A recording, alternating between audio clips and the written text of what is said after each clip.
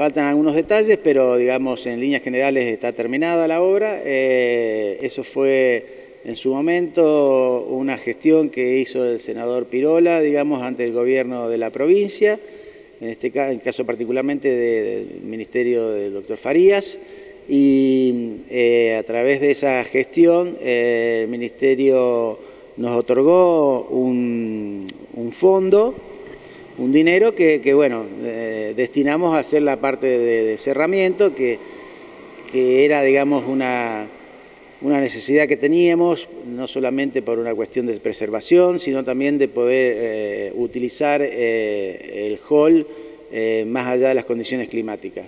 Así que bueno, estos últimos meses se han llevado adelante diferentes etapas, digamos, de, este cerramiento y hoy, digamos, lo tenemos prácticamente concluido. Y bueno, hay una siguiente etapa que tenemos previsto comenzar, digamos, que tiene que ver con, el frente, pero bueno, hoy eh, el, hall está cerrado, digamos, con un cerramiento...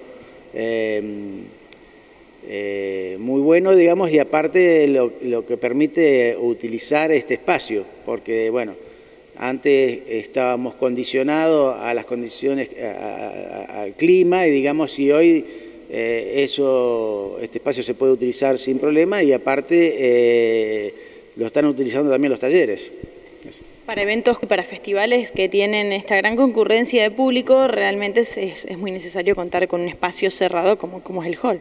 Sí, por supuesto, por supuesto. Aparte de eso, como te digo, nosotros, digamos, ahora podemos tener actividades simultáneas, digamos. Alguien puede estar haciendo algún taller en la sala y otro grupo puede estar haciendo otro tipo de actividad en el hall.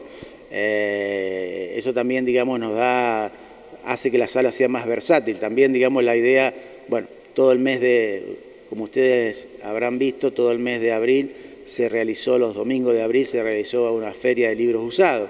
Eh, que, es una actividad que se pudo hacer acá en el hall porque estaba cerrado, porque digamos de esa manera se podía hacer. Y también lo que tenemos, digamos, como eh, objetivo es que este espacio también se pueda utilizar para, para muestras de pintura, de escultura, eh, bueno, utilizar este espacio que, que ahora podemos utilizarlo sin problema, digamos, ha quedado mucho más práctico todo este sector eh, y bueno, eh, eh, y eso es lo que, hace que uno pueda